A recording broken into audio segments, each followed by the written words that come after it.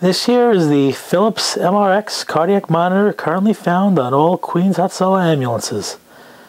This uh, tutorial will help you teach you how to send a 12 lead to telemetry or the hot receiving hospital at any time. Basically, you're going to have your monitor in 12 lead mode and you're going to acquire your 12 lead. Start acquire and you're going to put in the patient's age and gender and then it'll take your 12 lead. Okay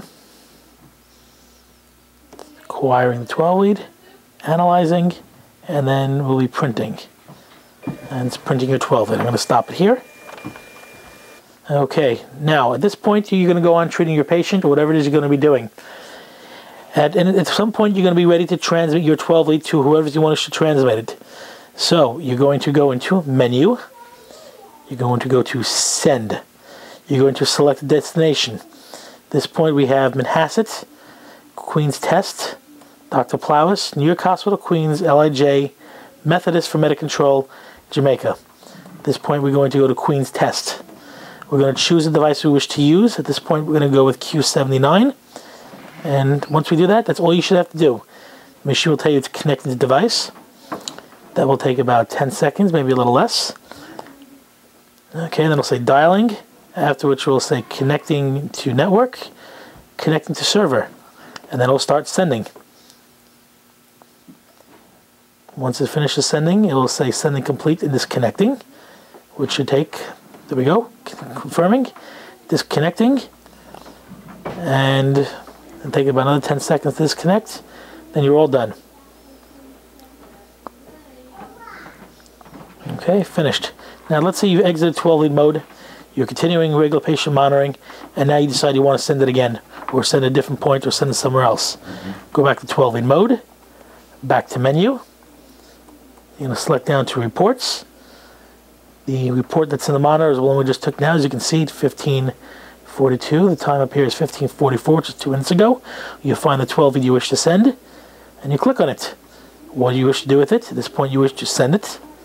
Again, pick the destination, Queen's Test.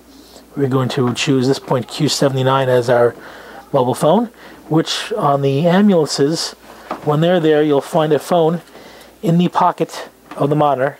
Basically looks like this, the Verizon Barrage. You'll most likely have a little hook on the top, and that hook will be attached to a coil and actually fastened into the side of the monitor. Okay, um, when you to use these phones, you turn them on by pressing the power button. And this will take about uh, three seconds or so, maybe five seconds to actually boot up. Once the phone is booted up, that's all you got to do and you'll be able to connect via Bluetooth. The reason why during this tutorial I'm using these phones is because there's still one feature that Verizon has forgotten to turn on and as yet they will not work until probably tomorrow night or tonight, hopefully tomorrow. But that's basically where we're holding with these. Once it's on, it'll be able to connect with Bluetooth.